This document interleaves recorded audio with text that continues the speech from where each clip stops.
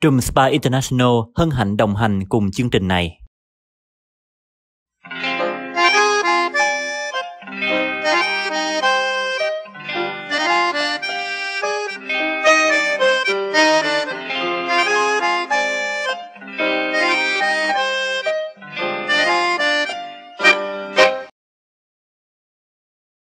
Jimmy xin kính chào quý khán giả của The Jimmy TV và mời quý vị cùng đến với chương trình Bước chân dị vãng tuần này. Kính thưa quý vị, trong tập đầu tiên của chương trình Bước chân dị vãng, quý vị đã được lắng nghe đôi lời tâm tình của hai nữ danh ca Khánh Ly và Lệ Thu. Qua tập đó, Jimmy đã nhận được rất nhiều những lời khen ngợi, những ý kiến đóng góp mà quý vị khắp nơi trên thế giới gửi về. Và trong chương trình tuần này, Jimmy xin mời quý vị cùng trở về thời gian trước năm 75, mà cụ thể là vào thập niên 70. Vào thời điểm đó, có một ca khúc đã được vang lên khắp thôn xóm ở miền Nam, đó là bài Qua cơn mê. Nhắc đến Qua cơn mê, không ai mà không nghĩ ngay đến tiếng hát của nữ ca sĩ Băng Châu. Cô Băng Châu bên cạnh là một ca sĩ, còn là một tài tử điện ảnh và khi qua hải ngoại này, cô cũng là một sướng ngôn viên được khán thính giả yêu thương với giọng nói truyền cảm. Và bây giờ, mời quý vị cùng với chúng tôi chào đón nữ ca sĩ Băng Châu.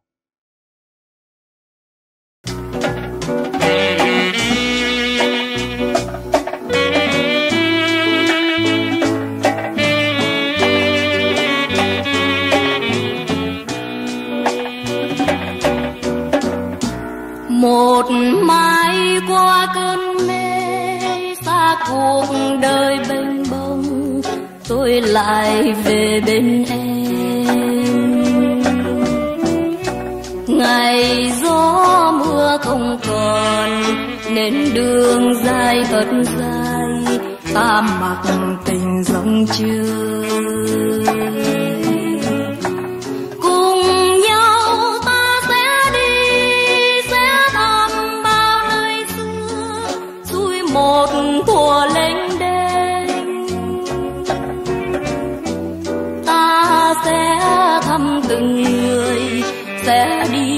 Thăm từng đường sẽ vô thăm từng nhà.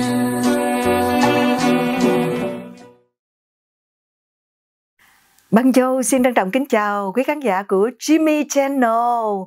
Và ngày hôm nay thì một lần nữa lần thứ nhì đó Jimmy lại um, uh, cho Băng Châu lên đây để được ngồi nói chuyện và chất vấn cảm ơn cô nhiều. À, cô cháu mình biết nhau thì đến nay là cũng ờ, gần 10 năm rồi đó. Nhớ lúc con còn ở Việt Nam lận. À, và cô cũng đã dành cho con đây là cái cơ hội thứ hai để cùng tâm tình với khán giả. Như lúc nãy con có nói với ờ, tất cả quý vị là bài hát mở đầu chương trình là bài qua cơn mê. À, vậy thì cô thấy cái bài hát đó ngay lúc này có thích hợp hay không?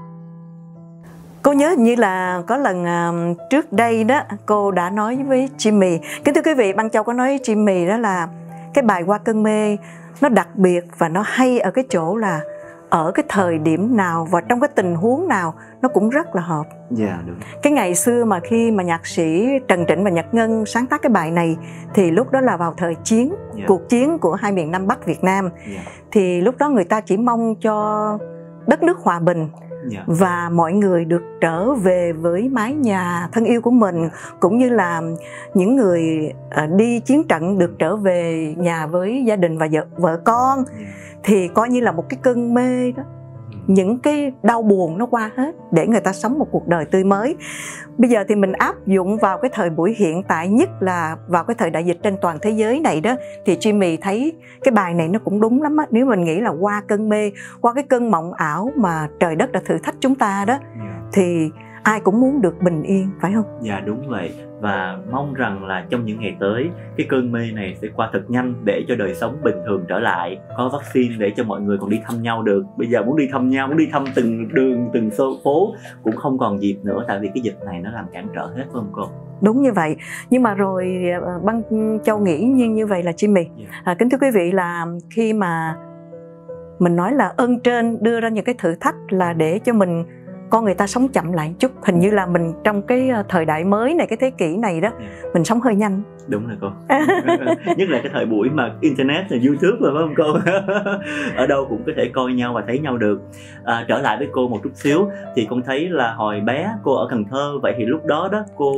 đến với âm nhạc thì gia đình có có có cấm cản hay gì không cô nhớ là trước đây đã có nói với Jimmy rồi là cái um, tiểu sử của cô mà cái khoảng thời gian mà cô sống đó ừ. Cô trôi nổi từ nhỏ tới lớn luôn đó. Thì cô đã nói là người á thì ở Trà Ôn nhưng mà khi mình sinh ra thì ở Bà Rịa. À, Bà Rịa rồi xong mới về trở lại Trà Ôn học được mấy năm lúc mà cấp 1 coi như tiểu học đó. Dạ. Rồi lên bắt đầu trung học đệ nhất cấp là lên Cần Thơ học luôn. Dạ. Đó rồi à, học một thời gian rồi sau đó mới quyết định là bỏ lên Sài Gòn đi hát khi mà cô lên trên Sài Gòn thì có ai hoặc là có những đồng nghiệp nào mà cô ở trọ hay là giúp đỡ cái lúc đầu không?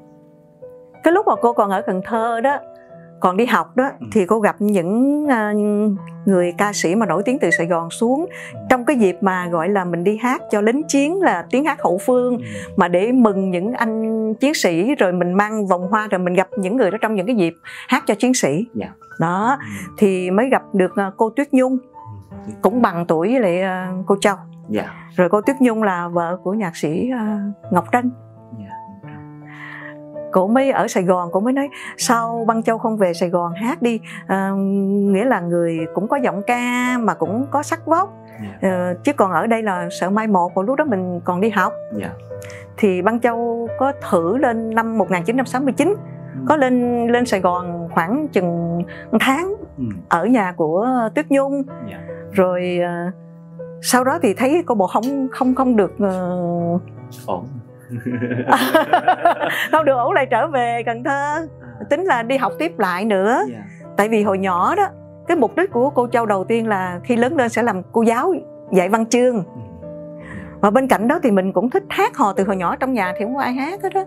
Mình suốt ngày cứ nghêu ngao hát nhất là nằm trên võng mà ru em. Á là đã hát nghiêu ngao từ lúc đó. ừ, nghêu ngao từ lúc đó rồi. Rồi khi mà cô định về rồi sao lại cô trở lại Sài Gòn? Cô đi về rồi khi mà mình ờ, nó có những cái ờ, chuyện xảy ra trong gia đình nó không có như ý muốn Dạ. có những cái chuyện buồn Dạ. thì lúc đó mình mới ờ, cô mới quyết định là mình muốn lập nghiệp mà nếu bây giờ ở đây mình đi làm ờ, một cái cô thơ ký quèn thì chắc mình không có được đi du lịch Ừ. à, Jimmy có biết là tại sao mà cô Châu đi hát không cái lý do quan trọng nhất á, không phải là để trở thành ca sĩ nha Dạ. Mà cái lý do quan trọng là để được đi du lịch Ồ, con cũng thấy được điều đó bởi sau này cô hay đi nhiều nơi lắm. có cơ hội là cô đi travel khắp nơi. Thưa cô, um, khi mà cô lên Sài Gòn, cô thành danh thì cô có nghĩ rằng là à, mình đến với âm nhạc trễ hơn so với các đồng nghiệp cũng như là các em à, đồng nghiệp của cô sau này không? à, cô Văn Châu nghĩ là cũng có một vài người đã hỏi cô nhưng mà cô nghĩ cái gì nó cũng là cái duyên cả Dạ. nếu mà nó chưa đúng lúc là nó chưa đúng lúc Ừ. trẻ hay là muộn thì nó không thành vấn đề Ừ. chứ mình thấy hiện giờ là như có Ý Lan là ba mươi mấy tuổi mới bắt đầu nổi danh thì sao nhưng mà những trường hợp đó rất hiếm Dạ. à, Jimmy hỏi rất là đúng là tại ngày xưa đó ca sĩ mà hát là đâu từ 14, 15, 16 có người thì hát từ nhỏ như Hương Lan Dạ. là mấy tuổi đã ra sân khấu rồi cái đó là nhiều khi là trong cái gia đình đã sẵn có bố mẹ Dạ. là nghệ sĩ rồi thì nó có cái phương tiện cho mình nó dễ hơn còn cô Châu đó thì đã nói rồi đầu tiên hồi nhỏ là dự định là trở thành cô giáo chứ không phải là để đi làm ca sĩ. Nhưng mà rồi mình cũng có giọng hát. Nhưng mà rồi sau đó nghĩ chắc nhiều người nói ờ cũng có chút sắc vóc cũng coi được được nhỏ này coi cũng được đó. Thì rồi mình ham đi đi du lịch mà nếu mà mình làm cô giáo thì đâu được đi du lịch đâu. Chỉ có đi hát thì mới đi đây đi đó. Tại hồi đó bằng cô băng châu nhớ không nào? Cái lúc mà mình học thêm lớp anh văn đó cho ờ, hồi đó có một cái trường của thầy à, giáo sư tăng tùng sinh thì có một người con có nhiều con trai lắm mà cái người thầy đó là con của ông tăng tùng sinh là thầy tăng tùng cang mới là dạy dạy cho băng châu tiếng anh Ok. mà mình cứ gọi anh cang thôi tại anh cũng lớn hơn vài tuổi thôi Dạ. thì cái gia đình đó là chuyên môn là quen với nghệ sĩ từ sài gòn xuống Ừ. mình thấy nào là thẩm thúy hằng hồi thời đó là thanh tuyền rồi nhật trường rồi toàn là những người nghệ sĩ nổi tiếng là cứ xuống cần thơ là phải ghé qua cái gia đình đó Dạ. thì cô Văn Châu là học trò ở trong cái trường đó học lớp anh văn thôi Dạ. thì thấy đem ra ái mộ quá trời sao thấy nghệ sĩ đẹp quá Ừ. nhất là chị thẩm thúy hằng đẹp như tiên Dạ. mình thấy mình mơ ước là thấy sao người ta được đi đây đi đó nè Dạ. Rồi được bao nhiêu người ái mộ người ta chạy theo nè để chỉ được nhìn người đó thôi là cảm thấy hạnh phúc lắm rồi đó con là cô đã thấy là wow cái nghệ sĩ nó đẹp quá mà được nó đẹp nó. quá dạ đó cũng là cái um, động lực để cô đi theo cái con đường văn nghệ đó đó là một trong những cái động lực đã Dạ. khiến cô Dạ. à, nhắc đến cô trước năm 75 đó thì con rất yêu một bài là bài à, đêm bơ vơ hình như cái bài đó có cái tình sử gì cô biết phải không? Cô nhờ cô chia sẻ thêm về bài đêm bơ vơ. Cái bài đêm bơ vơ thật ra đó là ờ, cô châu thì ít có hát lắm nhưng bài đó là của ờ, gọi là một người thầy một người anh một người bạn là ca nhạc sĩ duy khánh. Dạ. Là à, anh ấy đã sáng tác cái bài đó cho băng châu là tại hồi nãy có nói với Jimmy là hồi năm 69 á, dạ. Thì cô Châu từ Cần Thơ lên Sài Gòn đó có ở một hai tháng Ừ. rồi đi về. Thì thời gian đó là có dịp gặp nhạc sĩ Duy Khánh Ồ. thì chắc là anh ấy đem lòng thương mến nhưng mà rồi tự nhiên mình bỏ đi mất tiêu. Cho nên đó trong đó nó cái, cái những cái câu tại tên thật của cô Châu là Xuân Mai dạ. Thì trong câu đó là xuân ơi xuân xuân ơi xuân đã đi rồi.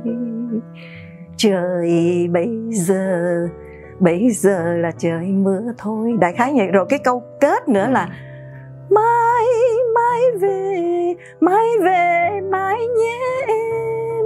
Là trong cái bài hát này đó có cái tiếng xuân và À. tiếng mai là tên của cô châu cô được đi vào một bài nhạc để đời của nhạc sĩ Duy Khánh đó là bài đêm bơ. Vơ cho nên ờ, con thấy ờ, quá là hay nghệ sĩ ngày xưa nhạc sĩ ngày xưa người ta tài quá cô ha. Người ta không nói thẳng mà người ta cứ để cái tên vào mà đôi khi người ta không để ý khán giả không để ý luôn. Đó là có tên cô là Xuân và Mai trong bài đêm bơ. Vơ còn có một cái bài hát này không phải là của nhạc sĩ duy khánh ừ. nhưng mà một nhạc sĩ mà anh ấy cũng đã ra đi rồi có kể lại anh đã viết cái bài đó là để cho cuộc tình của cô với thầy duy khánh. Nghĩa là chắc Jimmy với khán giả chắc cô không biết đâu. Cái bài đó là lời đắng cho cuộc tình của nhạc sĩ Nhật Ngân. Oh wow, là viết cho cuộc tình của cô. chính ông Nhật Ngân là khi còn sống đã nói cô Châu mới biết điều này đó.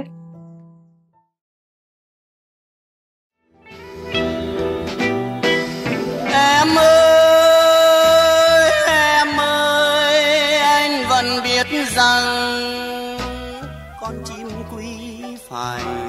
đồng xóm.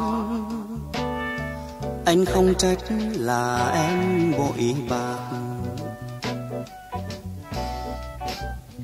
Mà em ơi, anh chỉ trách em trách em sao em không nói thật lòng mình sao em gian dối để làm gì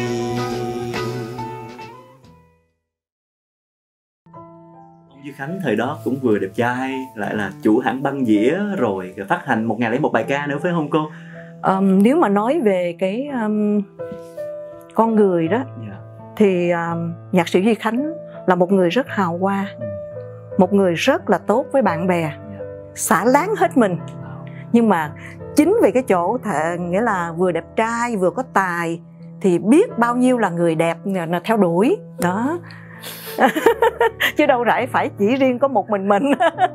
À, nhưng mà ít ra à, cuộc tình này cũng để lại cho âm nhạc Việt Nam rất là nhiều những ca khúc hay như đêm bơ vơ rồi nhạc sĩ Nhật Ngân thì viết bài lời đắng cho cuộc tình. Và chắc con nghĩ còn thêm vài bài nữa mà cô Châu có biết cô thì cô nghĩ là có đôi khi có những cái bài nhạc sĩ người ta không có nói ra. Ừ. nhưng mà cái bài đó thì rõ ràng là ừ, mọi người đều biết là nhạc sĩ Duy Khánh à, viết về cái cuộc tình mà lúc cô Châu mới vừa quen thì cô Châu lại bỏ đi mất tiêu rồi lúc đó cô Châu cũng không biết nữa nhưng mà có một người chị trong ngành đó là chị Thanh Tuyền. Chỉ là người mới nói Châu ơi em có biết cái bài đó là anh Khánh anh viết cho ai không? Đó là chị Thanh Tuyền mình nói á, À, là cô mới biết là là là nhạc sĩ Duy Khánh dạ. viết cái bài đó cho cô. Dạ, à, cho nên khi mà qua hải ngoại đó thì con thấy cô có thâu âm vào cái cuốn băng là tình có như không nè, bài vơ. Trong cái cuốn băng này, thập tứ nữ anh hào, à, nhiều tiếng hát, hát về dòng nhạc của Nhật Trường rồi của Duy Khánh. Thì trong đây thì cô Băng Châu hát bài đêm bơ vơ, rất là hay. À, thưa cô, nhắc đến cô trước năm 75 đó thì con thấy cô bên cạnh là ca hát thì cô còn đóng phim. À, phim thì nhiều người nhắc là Trần Thị Diễm Châu là quá nhiều người biết rồi nhưng có một cuốn phim hôm nay con muốn nhờ cô nhắc đó là cuốn phim Vĩnh biệt tình hà À, cảm ơn Jimmy. Đúng như vậy, người ta chỉ biết cái phim Châu Cua là tại vì cái phim đó nó quá nổi tiếng. Nó nổi tiếng từ cái cốt truyện của nhà văn Duyên Anh rồi. Là tại vì cái thời chiến đó thì cái tuổi trẻ họ sống họ không có ngày mai cho nên đâm ra nó có họ sống nổi loạn đó. Thành ra cái chuyện đó nó nó nổi tiếng nó nổi tiếng cùng với một đợt chẳng hạn như là vết thù trên lưng ngựa hoang, yeah. Loan Bắc Nhung Yeah. nghĩa là cái tuổi trẻ hồi ở Sài Gòn trong cái thời chiến họ nổi loạn thôi Yeah. rồi ừm, sau này thì cô Châu cũng có đóng một vài phim nữa nhưng mà nó không có nổi bật lắm như là cô phim cũng có tham dự trong cái cuốn phim Trường Tôi mà trong đó có nhiều nghệ sĩ lắm có chị Thanh Lan Yeah. có à, ông Tùng Lâm có khả năng có rất là nhiều Quốc người Dũng. Có Quốc Dũng là vai chánh rồi. rồi với cô um, nữ Tuyết chánh là Tuyết Lan. Yeah. thì trong đó thì cô Châu cũng đóng vai là một cô giáo nữa. Đó.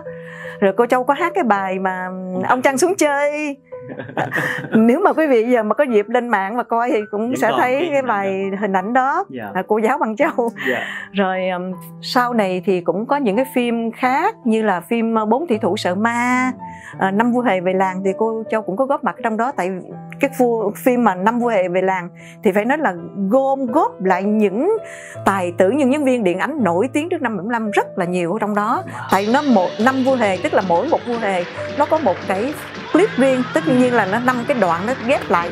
Thì trong mỗi một cái câu chuyện nó khác nhau mà năm trong một mỗi câu chuyện có rất là nhiều nghệ sĩ tham gia. Trong cái phần của cô châu thì lại có la thoại tân nè có thẩm thúy hằng nè rồi có thành được nè có phương hồng ngọc nè có cô châu. Dạ. nó là những người mà nghĩa là trong một cái đoạn phim như vậy đó thì nó gom hết những cái thành phần mà nổi tiếng nhất ở tại Sài Gòn hồi đó đóng chung một cái đoạn chỉ đoạn một cái thôi. đoạn Yeah. khúc thôi tất nhiên nó có 5 đoạn tức là năm vua hề mà Yeah. thì mỗi một vua hề là có một cốt truyện Ừ. mà trong một cái cốt truyện đó có nhiều tài tử văn nghệ sĩ góp mặt lắm Yeah. như là trong cái năm vua hề về làng cô đóng vai gì trong cái cái cái đoạn đó cô đóng vai là người bạn của cô thẩm thúy hằng là thẩm thúy hằng với lại tân là hai người kêu bằng là dân mà gạt gẫm đó. Dân lường gạt đó thì nó có nhóm. Ok. Bên này đó là cô Văn Châu Thành Được Vương Ngọc là một nhóm bên Thẩm Thúy Hằng. À, bên Thoại Tân là một nhóm khác. Ok. Hai nhóm gạt gẫm kêu bằng kẻ cắp gặp bà già đó. Vui, vui cái lắm. vui. Rồi cái vĩnh biệt tình hè thì sao cô? À Vĩnh Biệt Tình Hè là một cái phim tình cảm. Yeah. thì nếu mà nói là trở lại đó là lúc đó là khoảng năm 1974 thì lúc đó ông ờ, khi mà mình nghe nhà sản xuất mà mời á về đóng với Nguyễn Chánh Tín lúc đó là Nguyễn Chánh Tín là bắt đầu nổi với cái bài hát mà nhìn trùng nhìn trùng xa cách. là lúc đó là Nguyễn Chánh Tín đang nổi bật mà đẹp trai nữa. Hồi đó phải nói thật nha khi mà cô Châu nghe nói ồ được đóng phim chung với Nguyễn Chánh Tín cũng thích lắm đó đúng yeah. phải không? Tâm lý mà khi mình còn trẻ đó thì mình cũng thích ừm, thí dụ gái thì thích trai đẹp. Ừ. mà mấy anh trai thì lại thích gái đẹp đúng không? Yeah, đúng rồi. Mà lại lên hình thì lại xứng nữa. Thì ừm, trong cái cuốn phim đó cũng có ừm, anh là thời tân nữa. Anh là thời tân thì đóng vai phản diện. Ok. Còn nguyễn danh tính với lại cô châu là đóng vai chính. Mà ba mẹ lại cũng là những người nghệ sĩ rất là nổi tiếng. Ba của cô châu trong đó là nghệ sĩ nam châu. Dạ rồi ờ, mẹ là bà túy hoa Ừ. rồi cô em là hoài mỹ là mimi đó đó thành ra ờ, khi mà đóng cái phim đó thì là một cái phim cũng khá hay nhưng mà nó bị cái phim châu cun lấn áp lấn áp rồi yeah. tại khi người ta nhắc tới uh, băng châu người ta chỉ nghĩ tới cái phim châu cun mà thôi Ừ. nhưng mà cái phim vĩnh biệt tình hè cũng là một cái phim chuyện tình buồn Dạ, dạ. À, mà cuốn phim đó là cô đóng chung với à, chú Nguyễn Chánh Tính. Thì à, đầu năm nay thì chú Nguyễn Chánh Tính mất. Thì à, cô nhớ gì vậy không? phải nói rằng à, đó là cô đã có viết một cái bài Dạ. người tình điện ảnh Dạ. sau này sau 75 á, thì cô lại có dịp được đóng với Nguyễn Chánh Tín à, trong một cái cuốn phim sau này giữa hai làn nước mà do đạo diễn Bùi Xuân Dương à, làm đạo diễn rồi có một thời gian đi hát chung ở đoàn bông hồng đoàn kịch nói bông hồng rồi cũng đóng kịch chung với uh, Tính Dạ. coi như là hai người bạn rất là thân ở ngoài đời. Mà cái thời gian đó thì à, ai cũng khổ hết mà tính thì gia đình cũng cũng không có được khá giả lắm cái lúc đó.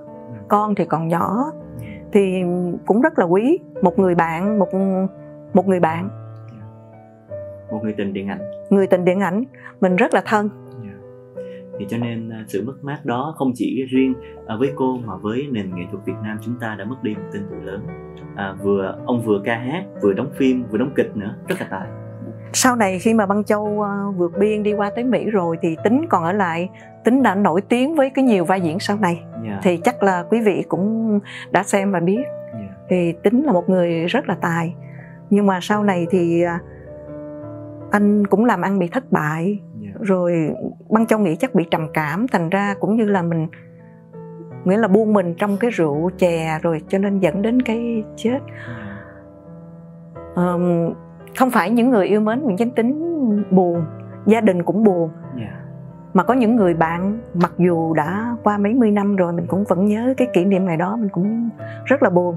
Nhưng băng châu nghĩ rằng tất cả mọi người trên cõi đời này rồi cuối cùng cũng có một chỗ đi về mà thôi. Dạ. thưa cô phải không à, con con rất đồng ý với cô. À, nhắc đến những kỷ niệm đó cô thì con nhớ là những lần mà cô cháu gặp nhau thì nghe cô kể đi hát tiền đồn. Đi hát tiền đồn thì ca sĩ trước 75 thường thường là ai cũng có đi hết trơn. À, cô cũng có nhiều kỷ niệm lắm. Có một lần cũng kỷ niệm lắm là tự nhiên ngày lễ Giáng sinh. Dạ. cái mình ngồi trên chuyến C130 cái tự nhiên gặp chị Khánh Ly. À. Rồi cái mình ra tới tiền đồn mình lại gặp Trang Thanh Lan. Ngay cái đêm Christmas Văn Châu nhớ là ở ngoài Trung đó cái thời đó đó là mưa dầm về. Mà mình thấy những anh nhảy dù thủy quân lục chiến đó khi mà họ coi mình hát đó ca sĩ thì được che mấy cái bông xô mà của trong quân đội họ che lên tạm cho mình đứng ở đó rồi mặc áo bà de sư nha bị mưa mà. Rồi mấy người nó ngồi dưới mà mưa mà ngồi người ta thích lắm. Dạ.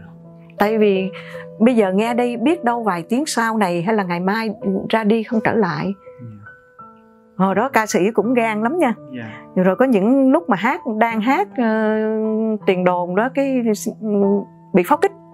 Rồi. chung xuống hầm liền. Ca sĩ cũng lì lắm á. Dạ dạ. Cho nên các cô ngày xưa mà đi ra tiền đồn là coi như cũng không sợ luôn đi quen rồi phải không? Cô châu nghĩ hình như là hồi trẻ ít có biết sợ À, tại vì mình lúc đó mình không biết gì hết. Dạ. Mình không biết thì mình không sợ mà khi mình càng lớn càng già mình biết nhiều mình lại đâm ra mình sợ. Dạ. Đó con thấy như là thế hệ của các cô ngày xưa đó à, đóng phim nè rồi ca hát. Đa số là không có qua một cái trường nhạc viện hay gì hết mà các cô là từ cái tài năng và đôi khi có những người thầy hướng dẫn. Thì cô thấy cái điều đó nó có lợi hay là nó nó không có lợi cho các cô? Mỗi một cái thời điểm nó khác nhau và cái thời gian đó thì như Jimmy biết cũng như quý khán giả biết đó là thời chiến mà. Dạ. Nó cũng có trường lớp nó cũng có trường quốc gia âm nhạc nhưng mà cái số mà để vô đó đó nó không có nhiều. Ừ. rồi còn phần lớn là mà ca sĩ mình thấy nổi tiếng là những cái bất ngờ Ừ. những cái tài năng được khám phá một cách vô tình thôi. Dạ. thí, thí dụ như vậy. Chẳng hạn như mình nói có một cô nào đó tự nhiên à, à, đi theo bạn cô đó là ca sĩ hát phòng trà cái tự nhiên ngày đó cô bị khang tiếng gì cô hát không được. Cái cô này ừ, hỏi có biết hát không? Nếu cứ lên hát thử như để hát thế. Thì tự nhiên cô này đâm ra hát là hay dạ. Mà lại có sắc vóc nữa rồi ông chủ phòng trà hoặc là một nhạc sĩ nào đêm đó đi vào vũ trường rồi thấy khám phá ra cái giọng ca là mời về nhà hát. Dạ. Còn trong như trường hợp của cô châu thì cô châu là hồi nhỏ đó là thích hát. Dạ. Thích hát rồi thích ừm, cũng ờ, trong ban văn nghệ văn gừng Ừ. ờ, lập phó trưởng ban nhạc ở trong cái lớp mình học nữa mà. Dạ. Đó thành ra thích hát rồi hát cho chiến sĩ nữa. Đại khái như vậy. Rồi ờ, mỗi cái là cô châu nghĩ là cái duyên hết nó đưa đẩy mình tới từ cái khúc này cho nên nó liên quan tới cái sự kiện khác. Dạ đúng thưa cô. À, sau năm 75 thì cô vượt biên và đến trại tị nạn nào? À, cô nhớ rằng à, hồi đó đó đáng lẽ là cô đi lúc năm 75 rồi. Tại cô có nhiều cơ hội có nhiều người bạn rủ đi. Dạ. nhưng mà lúc đó đó thì gia đình ba của cô ở Cần Thơ ba không có cho đi. Cái người Nam mình lạ lắm cái người miền Nam lạ lắm. Nghĩa là sống và chết cùng ở quê hương chứ không có cho đi đâu. Dạ. chứ cô Châu có điều kiện để đi lúc mà khoảng năm 75 đó. Dạ. tháng trước tháng 4 75 đã có nhiều người rủ đi rồi. Dạ. nhưng mà không có đi. Rồi sau đó ở lại rồi đi hát rồi cũng cô Châu cũng bị bắt một vài lần. Bị bắt là tại không phải cô vượt biên mà giống như họ nói mình phản động mình làm những cái điều mà chống lại chính quyền Ừ. lúc đó Dạ. thì sau đó thì cô um, nghĩ rằng mình cũng không ở được Ừ. thì cô mới đi vượt biên cái lúc mà đầu tiên cô cũng tìm nhiều cái đường để đi chẳng hạn như đi chui đi những cái chuyến tàu không ai nhận hết ờ. Tại người ta nói mình nổi tiếng mình buồn nó bể.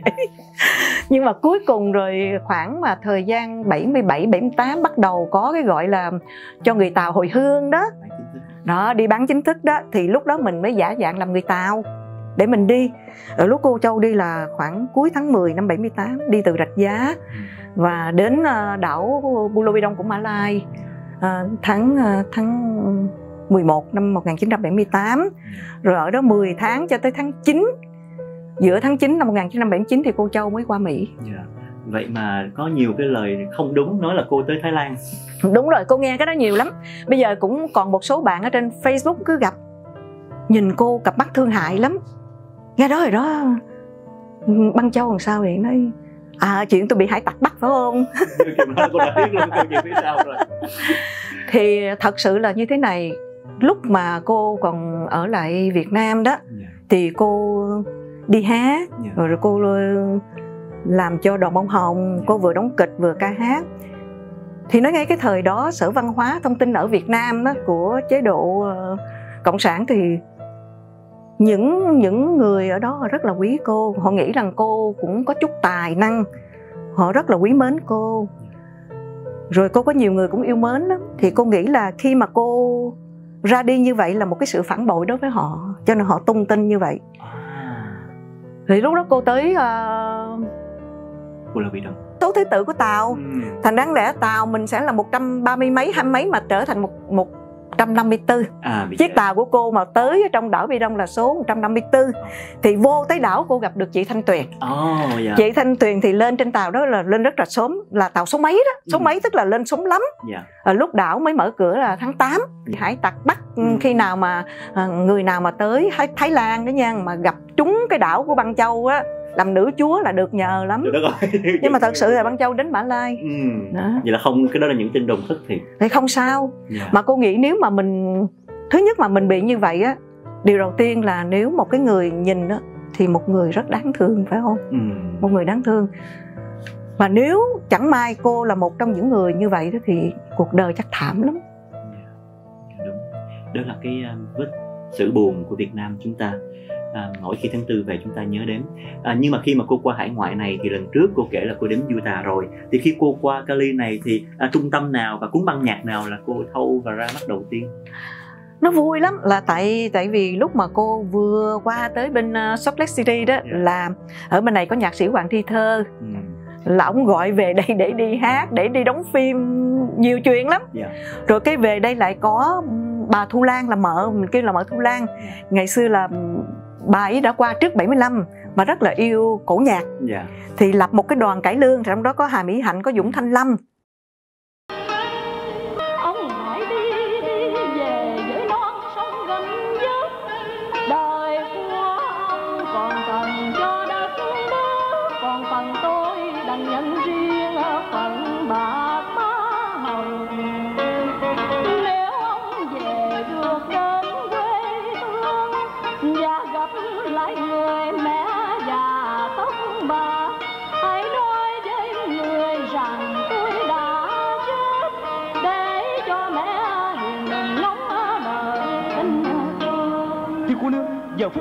yo.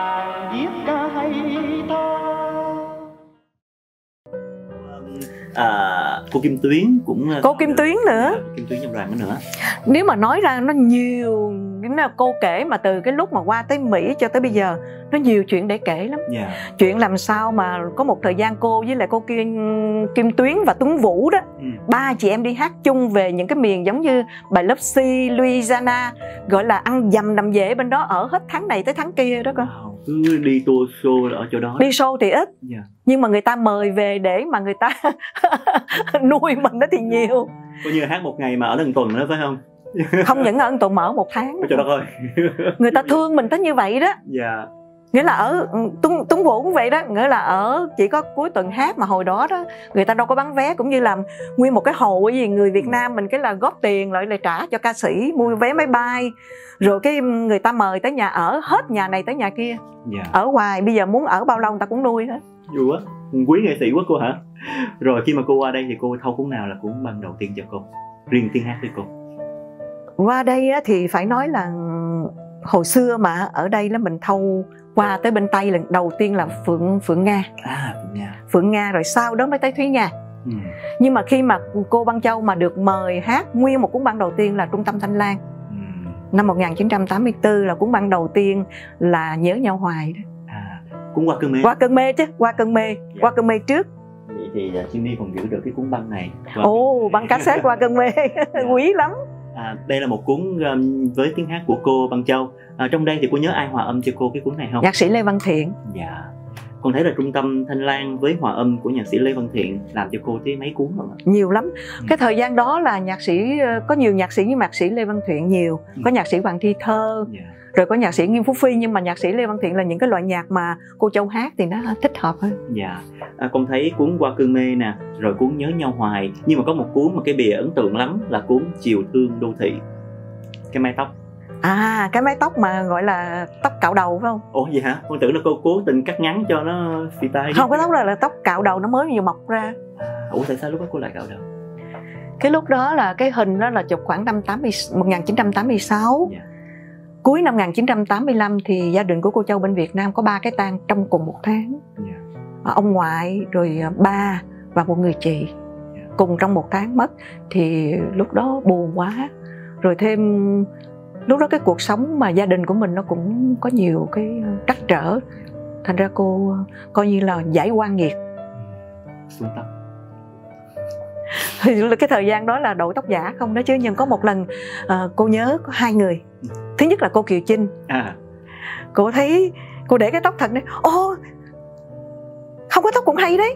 Ừ. rồi thêm một người nhạc sĩ trung nghĩa cũng nói tôi nói thiệt cái bà châu nha chưa thấy ai mà cạo đầu có được như bà cho nên là mới để cái tóc đó mình để chụp hình luôn nhưng mà nhờ vậy để lại cái ấn tượng rất là sâu đậm như là con sau này con đâu biết tưởng đâu cố tình cô cắt ngắn lên như vậy chứ cái đó là cạo đầu rồi tóc nó mọc ra đó dạ. mới vừa mọc ra ừ. à, nhắc đến thời gian hải ngoại thì con được xem những cái vở tuồng cải lương mà cô đóng như là đưa em về tây hạ rất là dễ thương đó là cái là mợ thu lan đó là người lập ra cái đoàn hát đó Dạ. Là đóng với Hà Mỹ Hạnh với Dũng Thanh Lâm đó. Nhưng mà sau này cái vở tù mà người ta chú ý nhiều là Dạ. cái lúc mà qua bên uh, Paris dạ. thâu cho Thúy Nga là cho trọn cuộc tình. Đó. thì trong đó uh, Băng Châu đóng vai con của ờ, Thành Được và Hương Lan. Hương Lan là mẹ mà Thành Được là bố. Dạ. còn anh Hoàng Long thì cũng mới vừa mất đó là ông anh. Đó rồi có ờ, nghệ sĩ Ngọc Đức cũng cũng đã ra đi rồi. Dạ. đó trong đó có nhiều người đã ra đi lắm rồi. Dạ à, nhắc đến trung tâm thúy nga thì con thấy những cuốn đầu tiên là cô đã cộng tác với thúy nga nghe đúng rồi nhưng mà sau này cái gì cũng được cái duyên thôi. Dạ. À, nhiều bài rất hay từ thúy nga cô hát. À, trong đó con à, ấn tượng với cái bài tango dĩ vãng Tango đó dĩ vãng. dạ. rồi tiếng hò miền nam nữa. Đánh ở miền Nam. Dạ. Thưa cô nhắc đến thời gian ở hải ngoại thì cô đã vừa đóng phim hình như có đóng cái vở kịch nữa cô. Cô nhớ vở kịch gì không? Với cô ngọc minh á à một cái kịch vui. Kịch vui. Không cô Châu cũng có đóng nhiều cái hài kịch mà nhưng mà cái kịch đó là cái kịch để đời. Đã tức là chồng chị vợ tôi trong Dạ. đó chỉ có bốn người thôi. Ừ. là Hùng Cường Nguyễn Long Ngọc Minh và Văn Châu là hai cặp vợ chồng. Dạ. Ông một ông chồng thì ăn hiếp vợ một ừ, bên kia thì vợ ăn hiếp chồng. Ừ. vợ ăn hiếp chồng là chị Ngọc Minh ăn hiếp ông à, ông ông ờ, Nguyễn Long. Nguyễn Long. Còn bên này ông Hùng Cường á là ăn hiếp bà vợ là cô Châu. Dạ. Đó. Cái đó hồi đó người ta rất là thích cái vở kịch đó Ừ. chồng chị vợ tôi. Dạ mà trong đó cô cùng hát với ông Hùng Cương nữa. Đúng rồi. Dạ. À, thưa cô bây giờ nhớ gì về Hát ông tình bơ vơ. đó. Nhớ về anh Hùng Cường thì phải nói rằng à, anh ấy là một người nghệ sĩ đa tài. Ảnh tài và ảnh ảnh phải nói là một người à, nghệ sĩ mà Văn Châu thấy điệu nhất đó nha. Ừ.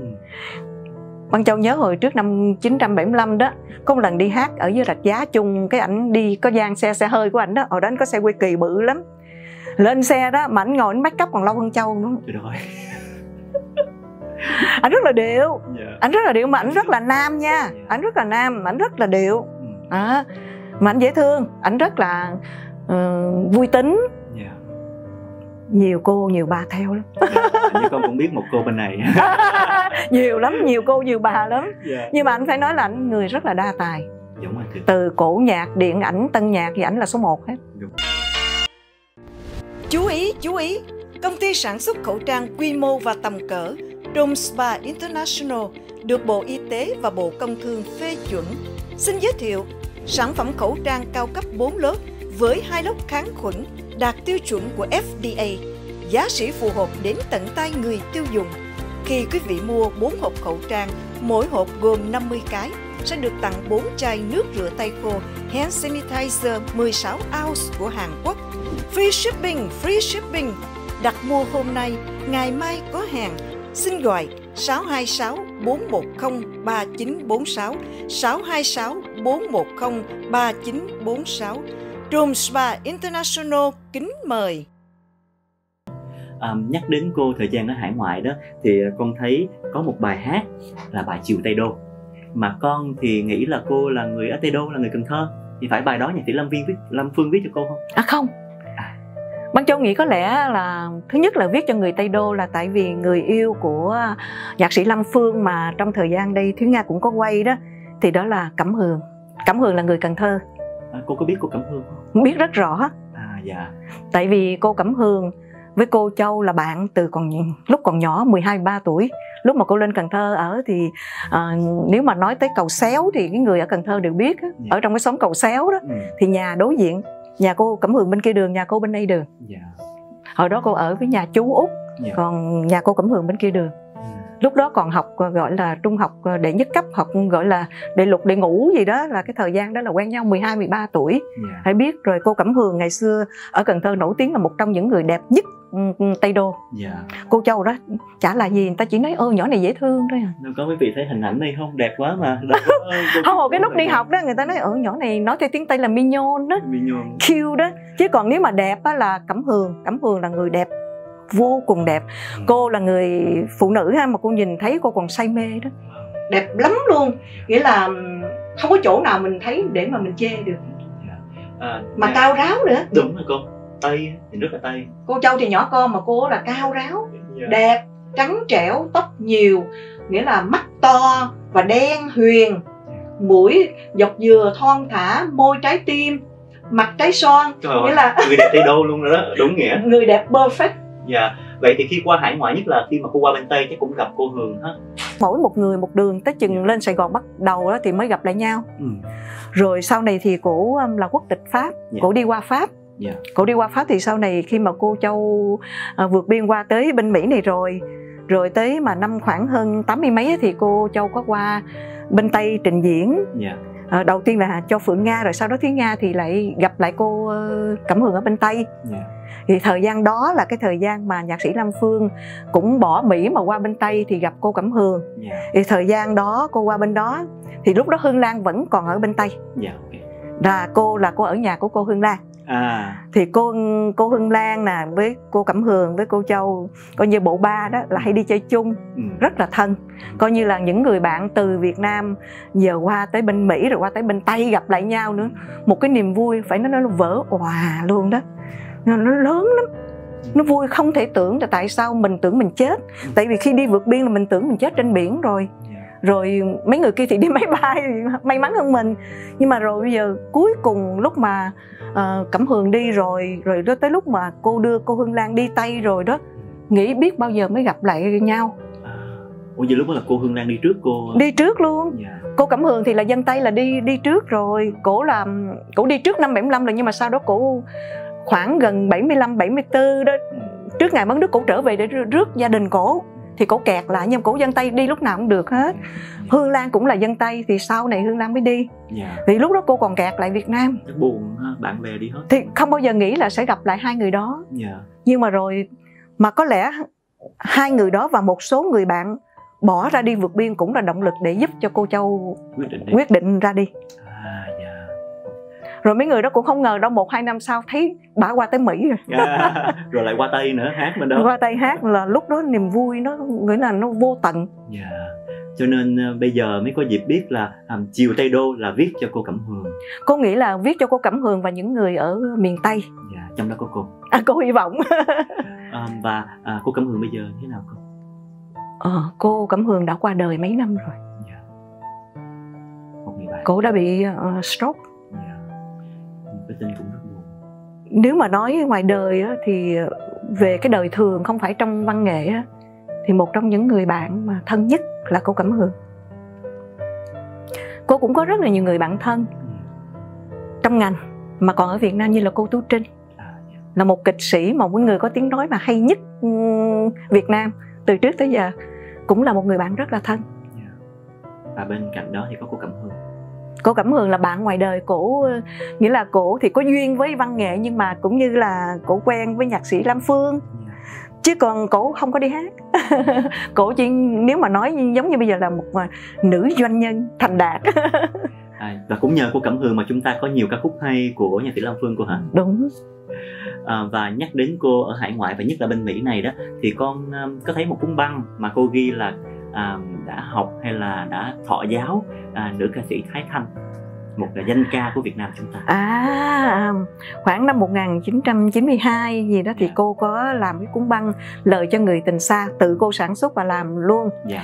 Thì cái thời gian đó đó cô rất là giọng ca của cô thì nghĩa là khán giả mọi người đều biết là mình hát về nhạc quê hương dạ. nhạc tình. Mà bây giờ có nhiều người gọi nôm na trại nhạc bolero có người thì còn nói là nhạc sến.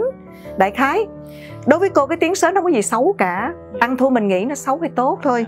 Cô nghĩ là một cái loại nhạc bình dân mà mọi người đều nghe được rất là Dạ. dễ hiểu. Thì ai cũng nghĩ là cô hợp nhưng cái ờ, dòng nhạc đó tức là nó có cái chất ngũ cung ở trong đó. Dạ. nhưng cứ luyến lấy nhiều. Nhưng mà cô lại rất thích hát hát nhạc tình dạ. Ngày xưa ở đây là có những cái phòng trà cô chuyên môn hát nhạc tình. Ừm. muốn hát những bài mà nếu mà Jimmy và khán giả mà nghe hết hồn liền đó. Nghĩ là những bài chiếc lá cuối cùng Ừm. thu hát cho người hay là giả khúc cho tình nhân. Dạ. rồi ờ, cô hát đủ loại hết chẳng hạn như là một mình cô là hát luôn ba bài hồng võng phu luôn. Wow. Đó. Cho nên khi mỗi lần cô đi hay là cô hát ờ, tiếng sông hương. Dạ. Cô cô hát đủ loại nhạc mà cô rất là yêu thích nhạc ờ, nhạc định công sơn cô cũng hát luôn. Cho nên cô năm đó thì cô có đi có một người bạn nói giọng bà giọng nam đó thôi bây giờ bà muốn hát mà cho nó có vẻ bất kỳ chút đó thì nên tìm người thọ giáo. Ừm. thì lúc đó cô Thái Thanh có mở cái lớp nhạc. Dạ. Rồi ờ, cô Châu mới đi ghi danh.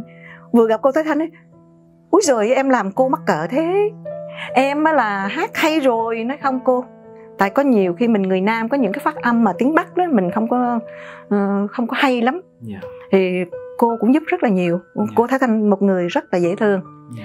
Rồi nhờ cổ đó thì cô mới ra cuốn băng là toàn những bài mà phải nói là cô hát vì cô thích. Ừm. chưa chắc là khán giả đã thích cô hát những cái dòng nhạc này. Dũng nhạc à, tình thính phòng cô ha nhạc tính phòng giống như là bài không tên số 8 nè lời cho người tình xa nè rồi ờ, xin còn gọi tên nhau cũng hát trong đó không? Dạ không cô trong đó có hát một ừm, bài ờ, hát hai bài diễm xưa với bài ừm, của ừm, trịnh công sơn. Dạ. Rồi ờ, vũ thành an. Đúng những nhạc sĩ mà dòng nhạc thính phòng dòng cô. tính phòng cô rất là thích. Năm nay tháng 3 vừa rồi thì cô Thái Thanh mất thì cô nhớ gì và cô thấy giọng hát của cô Thái Thanh và nhận xét về cô Thái Thanh như thế nào nói đến cô Thái Thanh thì giống như là khán giả và mọi người đều biết đây là đúng là tiếng hát vượt thời gian. Cô là một huyền thoại nghĩa là duy nhất. Dạ. Cái giọng ca của cô bây giờ tìm chắc khó lắm. Dạ. à, lúc mà đi học đó cô có kỷ niệm nào vui với cô Thái Thanh không? Cô Thái Thanh rất là dễ thương. Có một Dạ. lần cổ mời về nhà cổ chơi đó. Dạ. Thì ờ, cổ ăn rất là ăn uống rất là lành mạnh nha. Dạ. Buổi sáng là cổ ăn ốc miêu ừ. Cô còn nhớ như vậy đó một người rất là nhẹ nhàng rất là ờ, phải nói theo kiểu bây giờ là sao tinh tế ừ. dạ. À, một thưa- người rất là đáng ngưỡng mộ dạ. và cũng là xem như là một người thầy của cô đúng Dạ. mình mình học một ngày cũng tại này cô cũng học mấy tháng Ừ. Ờm, nhắc đến cô thì trong những thời gian tới đây cô có những cái dự án gì cô thể chia sẻ với khán giả không về cá nhân cô À, cảm ơn Jimmy. À, kính thưa quý vị, như trong thời gian này thì Băng Châu cũng đang hợp tác với một đài TV, đó là đài CBN. Rồi Băng Châu còn làm cho đài radio cuối tuần thì radio Băng Châu đã làm từ năm 1995 cho tới giờ rồi. dạ Băng Châu rất là yêu, rất là yêu cái nghề media này dạ và tương lai thì cứ bây giờ mình sống mỗi một ngày là một ngày vui, Jimmy. Không còn cũng như có một số người bạn cứ khuyến khích bây giờ người ta làm YouTube rất là nhiều, mở một cái kênh YouTube riêng. Yeah thì băng châu cách đây cũng là khoảng chắc một hai tháng rồi có nhiều người khuyến khích rồi còn làm cái introduction cho mình tùm lum hết. Nhưng mà thật sự khi mà băng châu muốn làm một cái điều gì mình phải nghiên cứu rồi mình coi rất là nhiều thì mình thấy nó không có đơn giản. Dạ. Nó có thể đơn giản là hồi cái hồi trước đây tức là khi mà nó có ít đó dạ. có nhiều người làm cái cái gì người ta cũng coi hết á. Dạ. Nghĩa là có những cái chuyện nó có một cái cô kia cô ngồi trên giường trùm cái mền cô nói chuyện nửa tiếng mà người ta vẫn coi nhưng mà bây giờ nếu mà mình thật sự mình muốn làm đó thì mình phải nghiên cứu rất rất là kỹ lưỡng và băng châu nghĩ rằng khi mình đem đến cho người xem đó cho dù là cái sở thích của mình đi nữa nó cũng phải có một cái gì ờ, có chất lượng chút xíu Dạ, đúng. và có giá trị Dạ. để người xem người ta không có thể người ta nói ôi nhỏ này chắc câu view đầu tiên đó thì khi mà làm mình chỉ nghĩ là mình làm vì cái thú vui Dạ. biết là mình lớn tuổi rồi đó là một cái sự học hỏi không ngừng. Và cô châu rất là thích tìm hiểu về máy móc nè. Ừ. ở nhà cô châu một mình cô châu có bao nhiêu máy biết không một cái laptop một cái ipad một cái desktop. Và- một cái cái phone thì đương nhiên cô một cái iphone một cái samsung. Dạ để mỗi lúc nào cũng có thể coi được trên youtube. Tức là người thích máy móc và thích Ừ. như tò mò dạ. chứ thật ra chưa chắc đã biết xài hết á. Mà cái thú vị khi nói chuyện với cô Băng Châu á, thì thấy cô còn trẻ trung hơn là Jimmy nữa. Cô xem những cái chương trình mà hiện đại trẻ bây giờ phải không? Như Đúng rồi. coi. À, kính thưa quý vị là như quý vị biết bây giờ là ở Việt Nam đó. Dạ những cái game show những cái chương trình mà truyền hình thực tế nó có rất nhiều rất là nhiều chương trình. Dạ. Nhiều chương trình hay nhiều chương trình cũng thú vị lắm là siêu hài nhí danh hài nhí gì đó đại khái là à không chưa. Dạ. người ấy là ai? Băng châu cũng rất là thích nhưng mà bây giờ khi mà bạn bè nghe người nào cũng giật nảy mình hết. Ờ. oh my god là băng châu rất là thích cái chương trình rap việt. Mới đầu mình nói ủa rap việt này ủa mấy đứa này làm gì ta? Ừ. để mình coi thì mình mới thấy. Và mình thông cảm. Ừ. đây là một cái sân chơi một cái chỗ mà để cho các em các cháu có thể là trút cái nỗi niềm tâm sự của mình lên. Dạ mà giống như ở Mỹ này thì có nhiều cháu mình thấy là bị uh, anxiety, depressing, trầm cảm thì ở Việt Nam cũng vậy. dạ Cái người Việt Nam mình theo cái phong tục tập quán thì cứ nghĩ là khi mình có con nó muốn nó sẽ trở thành bác sĩ kỹ sư. Hay là tệ nghĩa là ít lắm là giáo sư hay cái gì đó. Chứ không bao giờ nghĩ là để cho con mình nó phát triển theo cái ý thích cái sở thích là nó có thể trở thành một người nghệ sĩ có thể trở thành một ca sĩ hay là một diễn viên hay là một người mẫu. Họ không nghĩ như vậy. Họ nghĩ những cái đó nó không có thực tế và nó không có chắc chắn. Nhưng mà nó cũng chưa chắc Dạ. có những người người ta đi học ra trường rồi cũng đâu có làm cái nghề đó mà lại đi hát. Đúng có rất là nhiều người. Dạ. Thì băng châu có cái chương trình rap việt thì mới thấy việt nam mình có quá nhiều người tài năng trẻ tài năng. Có những bài hát rap mà băng châu ngồi xem khi mà mấy cháu nói lên cái nỗi lòng của mình đó Dạ. mà nước mắt mình tuôn trào. Dạ. Thì băng châu phải thấy bây giờ ở việt nam với một cái xứ mà gần 100 triệu người thì tài cũng người tài cũng rất là nhiều. Dạ. Mình cũng thấy vui lây và hãnh diện. Dạ, à, cô cũng đã cập nhật những cái à, chương trình mới của các bạn trẻ bây giờ. Và cái thưa quý vị, quý vị đã yêu thương cô Băng Châu với những chương trình trước đây thì quý vị nhớ lên YouTube subscribe à, kênh YouTube Băng Châu Official với Hồng Cô. Cô thì hiện giờ cô để là băng châu đinh kiều nhưng mà cô chưa có làm gì hết á Dạ. Cứ surprise trước đi quý vị, cô sẽ để video sau cho quý không cái này nó nhỏ cho nghe nha À. cũng được mười mấy hai chục người subscribe đó. Dạ. nhưng mà mấy người đó ủa sao chưa thấy hết Bây giờ cô đang chuẩn bị bởi vì á Jimmy thấy cô à, có một cái show trên à, truyền hình đó là băng châu show à, với những câu chuyện nhắc về thời à, Lido Sài Gòn mới thành hình cùng với chú Chấn rất là hay rất rất là giá trị và mang tính lịch sử. Cho nên quý vị đã xem những chương trình đó thì chắc chắn cái kênh youtube của cô cũng sẽ hay và có nhiều chương trình đặc biệt hơn như vậy nữa. Cảm ơn Jimmy à, rất là nhiều và riêng cô cũng chúc cho Jimmy có nhiều sức khỏe và cái chương trình mà Jimmy Show trên đài truyền hình hoặc là Jimmy Channel đó cũng sẽ thành công mỹ mãn. Còn cảm ơn cô. À, đây là lần thứ hai cô đến với chương